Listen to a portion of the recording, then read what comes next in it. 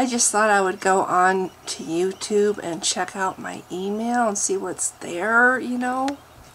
I just got back from Home Depot, working on a Saturday. Kind of sucks because it's amazingly gorgeous out here. This is August 31st and it is a gorgeous day here in Everett, which is a bit north of Seattle. Okay, so my dog's going. She, she, she knows I'm I'm making a video, so this is this is her big cue. So I'm checking out my checking out my email on YouTube, and I'm I'm going to. Hey, I just went right past where I wanted to go. Yes, isn't this exciting? See, I have a new wolf hat. and I'm not very happy with it. Um, somebody wanted to know where my um, where I got the wolf ears. So I went to Amazon to see if they were still there. It is still there, by the way. But then I saw this one, and it looked really cute in the picture. And it was like eight something, so for the price, you can't lose. Look, it's even got little tassels but it's not nearly the, as good as the other one. It's just, it's like, meh, whatever. Okay, so I'm going to my inbox. Here's a nice little email from somebody named Garf640. Wonder what he has to say. Oh, this is about my video that I just made that I'm very proud of called My Take on Lazy, Presumptuous, Presuppositional Apologists. I love that video. It's a little bit long. I have to admit that one got a little out of control. Too, too long. Anyway, so what's he got to say? He says, I am pretty certain it was a debate between Matt and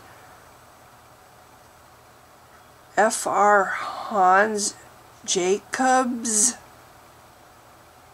called The Source of Human Morality. I don't think Matt ever debated Sye, but I could be wrong. Hans, or could be, it's probably Hans, did do exactly what was described and saved everything to the end in the debate. Shit. Shit, shit, shit, shit, shit. I have this... Oh, I hate it when I'm wrong. Oh, it's just not good. I'm supposed to never be wrong and I'm wrong. So now I have to apologize to Sye. Or then again, I don't know. In the video that I watched, what I Matt was talking about Sye, and then he told the story, and I thought he was saying that it was Sye that he debated with. So if I am wrong, I am so incredibly unhappy right now. The video that I watched where I heard Matt's talk about this, that I obviously, or possibly, we won't say obviously because this guy says he might not be right, but I might not be right, so now I'm like, oh shit, is called Matt Dillahunty, The Superiority of Secular Morality. So I guess I'll have to go back. It's 26 minutes and 55 seconds. One year ago, it was done. To have to go back now and watch it again. Maybe I misunderstood. I thought he was saying that he debated Sye. But then when I went to try to find this debate, I couldn't find it anywhere on YouTube. So it might not be that it was Sye. Which means my really cool video that I'm so happy with my take on lazy presuppos presumptuous. I love that word. Presuppositional apologist is wrong. which means I'm gonna have to I don't know maybe I'll put a little, little write a little little blurb or something every time I say Sye's name. Oops, wrong. Eee! But thanks for playing. so okay, fine. I hate I hate I hate it. I, I feel like you know shoot. Okay, so I don't know who this other person is that he's saying is this Hans person. But anyway, so I guess I'm, I have to make an apology. I'm sorry, Sye. I'm really sorry.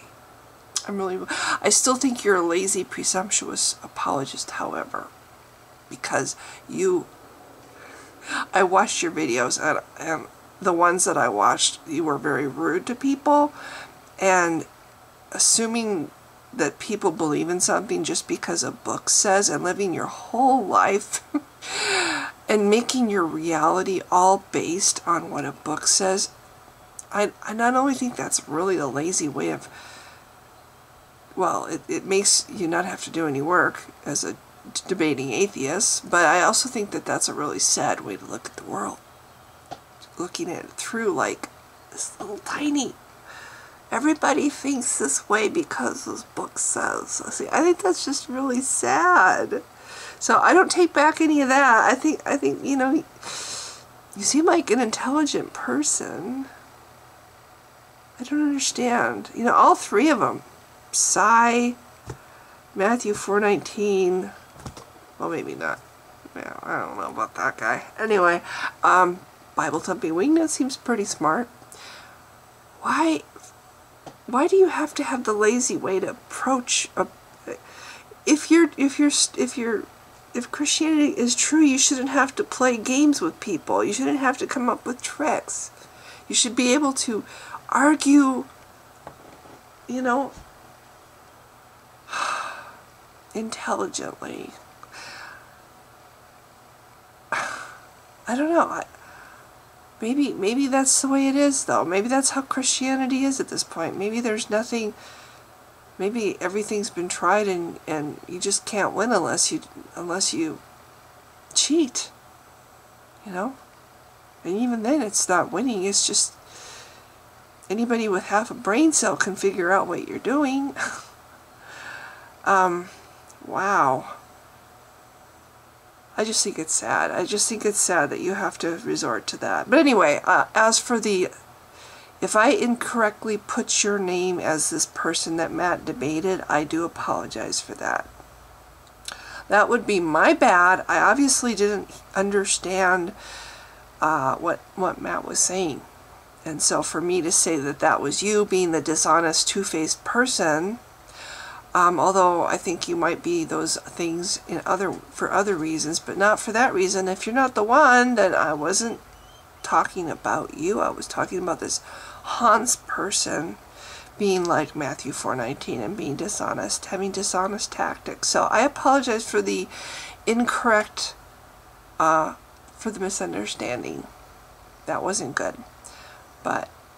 I just, I feel bad. I just feel like, I don't feel bad. What am I saying? I don't feel bad that Christi Christianity is just, I don't know. I just think, you know, you get to the point where you have to say, you know what it is? This is what I think. You won't debate anybody unless they unless they come down to your level. It's like, okay, I will not debate you unless you already believe that this book that I live that I basically use to this, this this book is what I consider reality. Okay, so unless somebody is able to come into my little area here and agree with me that the Bible is actually knowledge, I won't debate them. That's sad. I'm sorry, that's just sad.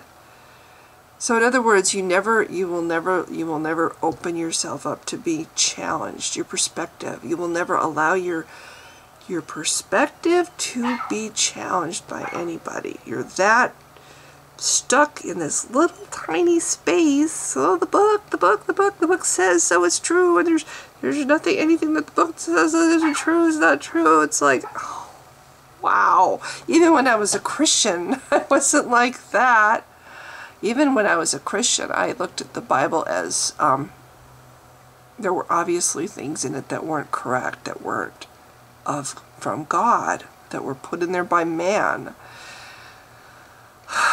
okay, so I'm done with this video. I just mostly wanted to apologize for this mistake of mine. Oh my gosh, I'm not perfect. I'm sorry. How am I gonna ever live this down? I'm not perfect. Actually, I am like the furthest thing in the world from perfect. But I do think that when I screw up somebody's name and say something bad about somebody and it's not supposed to be him, it's somebody else completely, that is some time, that is a thing I need to make some kind of video and say, you know what? I screwed up. I'm sorry. These, these are kind of fun. Okay, well, I'm going to go because I want to spend some time playing with these. Want to play with some balls. if you've been watching, thanks. Bye.